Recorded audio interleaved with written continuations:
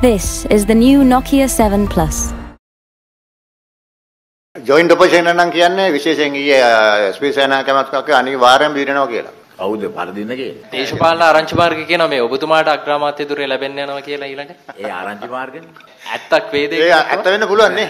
ඒවට කල් තියෙනවා. ඔබතුමාගේ අදහස මොකද්ද? ඔබතුමා කැමතිද එහෙම එකක් බාර ගන්න ලැබුණොත් එහෙම? නෑ නෑ මේ වෙලාවේ මොකක්වත් බාර ගන්න ඕනේ නෑ මේ තියෙන එකට මුහුණ දෙමුකෝ. ශ්‍රී ලංකා නිදහස් පක්ෂයේ ප්‍රසිද්ධියම කියනවා ඇමතිතුමා ඒ කණ්ඩායමට තියෙන ප්‍රශ්නේ තියෙන්නේ රනිල් වික්‍රමසිංහ මහත්මයාත් එක්ක කියලා. ඒ අරගෙන රනිල් වික්‍රමසිංහ මහත්මයා ඉවත් කළා වෙන පුළුල් ජාතික රජයක් ගොඩනැගීම තමයි ඒගොල්ලන්ගේ අරමුණ කියලා. ඒ වගේම ඒගොල්ලන්ගේ පැත්තෙන් කිසිම අගමැති අපේක්ෂකයෙක් ඉදිරිපත් කරන්න බලාපොරොත්තුකුත් නැහැ. මේ ආණ්ඩුව පිහිටවපු කණ්ඩායමටම ආරාධනා කරනවා මීළඟ පුළුල් ජාතික රජය අගමැතිවරයා තෝරා ගන්න කියලා. ඉතින් ඒක ඔම්මිනකො ඒක කරන්න නැති උනේ ප්‍රෙස් කොන්ෆරන්ස් එකක් නෙවෙයිනේ. ඒගොල්ලෝ ඉල්ලුවා නම් ඒකාවාද පාර්ලිමේන්තු කණ්ඩායමක් හරි පක්ෂ දෙකේ රැස්වීමක් ඉල්ලුවා නම් ඒ පක්ෂ දෙකේ රැස්වීමේදී පක්ෂයට කෙලිම ශ්‍රී ලංකා නිදහස් පක්ෂය ඔය කියන කණ්ඩායමට ඇවිල්ලා මේක ඉදිරිපත් කරන්න තිබුණා. ඒගොල්ලෝ කැබිනට් එකේ ඉන්නවා. නමුත් දැන් ඒ කැබිනට් එකේදී ඉදිරිපත් කරන්න තිබුණා. නමුත් දැන් ඒ තත්ත්වය ගොඩනැගිල්ලන් ඉතින් ඒකෙන්ම තේරෙනවනේ ඉතින්.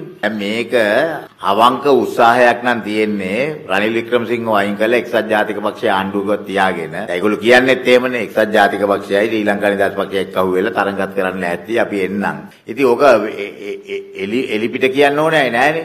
ඇයි අමතුමා රනිල් වික්‍රමසිංහ මහත්මයාට විරුද්ධව මේ තරම් මේ මේ ප්‍රබල විරෝධයක් ඒක ඒගොල්ලන්ගෙන් අහන්න ඕනේ. අපේ කෘත්‍යාධිකාරී මණ්ඩලය හෙට රැස් වෙනවා. එතෙන්දිත් තීරණයක් එනවා විශ්වාස භංගය සම්බන්ධයෙන් පක්ෂයක් හැටියට ගන්න ඕන තීරණය. ප්‍රතිසංවිධානය කටයුතු යන්නේ අදහස් කරන්නේ මොකක්ද ඔබතුමාලා කරන්න යන්නේ? ඒක තියෙන්නේ පක්ෂයේ විවිධ ප්‍රතිසංවිධානක විය යුතු ආකාරය ගැන.